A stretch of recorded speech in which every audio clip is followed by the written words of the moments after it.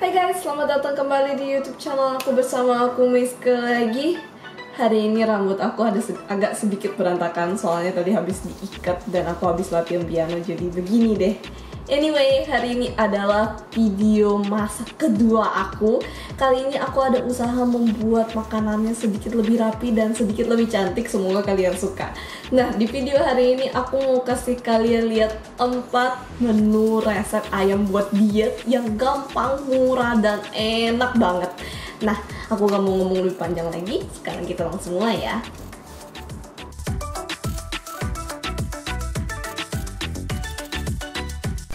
Yang pertama adalah peanut butter chicken. Ini adalah salah satu resep favorit aku. Ini sangat gampang dan rasanya tuh kayak ayam goreng fast food gitu loh. Bahan-bahan yang kalian butuh. Olive oil, sedikit lada, sedikit garam, tentu peanut butter, dan dada ayam. Nah, pertama kita mau campur semua bahan seperti garam, lada, peanut butter secara merata ke dada ayam kita.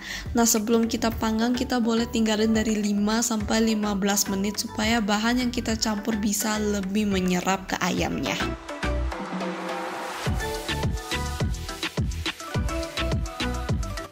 Ingat panasin teflon kalian dulu sampai panas baru taruh olive oilnya dengan api yang cukup kecil.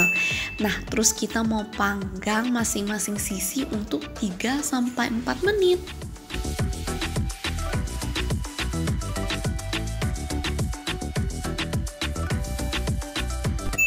Ini dia peanut butter chicken kita.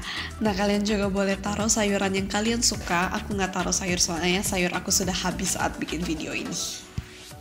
Selanjutnya adalah classic grilled chicken. Ini cocok banget kalau kita lagi males. Bahan-bahan yang kalian butuh. Olive oil, sedikit lada, sedikit garam, dan dada ayam. Pertama, kita mau campur semua bahan kita dari garam sama lada secara rata ke dada ayam kita. Nah, ini sebenarnya resepnya simple banget. Yang paling penting tuh dada ayam kita harus tipis supaya nanti bisa garing. Panaskan teflonnya sampai cukup panas baru kita taruh olive oil. Ingat apinya harus kecil. Nah, terus panggang masing-masing sisi untuk 3 sampai 4 menit.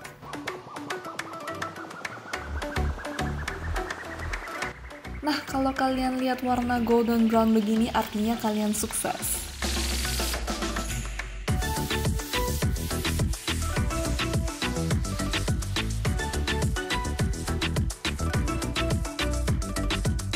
Udah deh, simple banget kan resepnya, cuman ini enak kalau dilakuin dengan benar. Nah, kalian bisa makan dengan sayuran yang kalian suka. Di sini aku cuman kayak stir fry brokoli dengan sedikit saus tiram aja. Selanjutnya adalah garlic and ginger steam chicken. Aku suka banget sama resep ini. Aku hampir makan ini setiap hari. Kalian harus cobain sih. Bahan-bahan yang kalian butuh. Olive oil, sedikit garam, sedikit lada, bawang putih, jahe, dan cabai rawit, dan dada ayam. Nah, resep ini juga cukup simple sama dengan yang lain. Kita mau campur semua bahan-bahan kita secara merata ke dada ayam kita. Kita mau campur semua dari garam, lada, jahe, bawang putih, cabai rawit, dan minyak secara rata.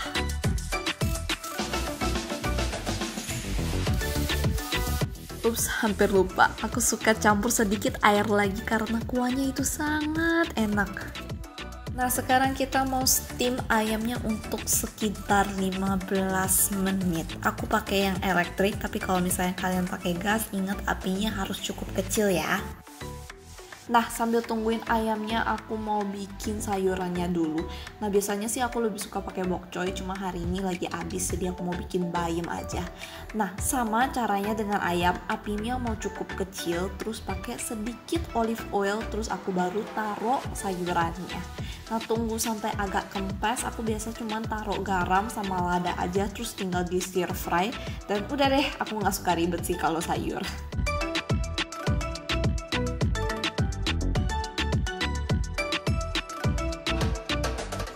Nah, ini dia bentuk ayamnya setelah sudah jadi. Gampang banget kan? Terakhir adalah skinny chicken teriyaki. Aku suka banget sama resep ini. Ini enak banget tapi ini agak sedikit ribet. Tapi tenang, masih gampang. Bahan-bahan yang kalian butuh. Olive oil, Brown sugar, madu, kecap asin, tepung jagung dicampur air, sedikit garam, brokoli, dan dada ayam. Nah, pertama aku mau butterfly ayamnya dulu karena ayam yang ini agak tebal jadi aku mau tipisin. Terus aku mau taruh garam secara merata ke semua sisi ayamnya. Nah, sekarang aku mau grill ayamnya dulu dengan sedikit olive oil. Nah, ingat, apinya harus cukup kecil dan teflonnya harus cukup panas.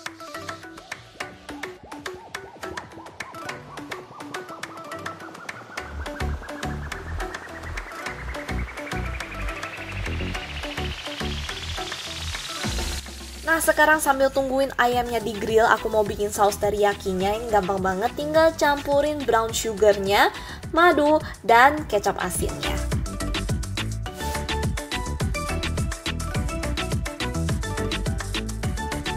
Nah sekarang kita mau balik ayamnya dan di grill untuk sekitar 3-4 menit lagi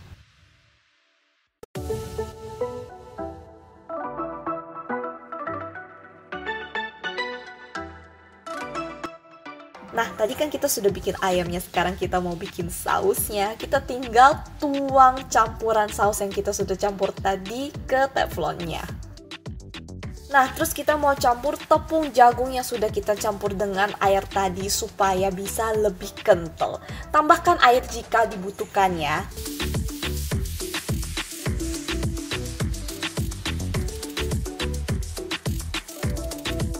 Nah sekarang kita mau masukin brokolinya dan nanti kita mau masukin ayamnya lagi supaya rasanya bisa lebih wangi.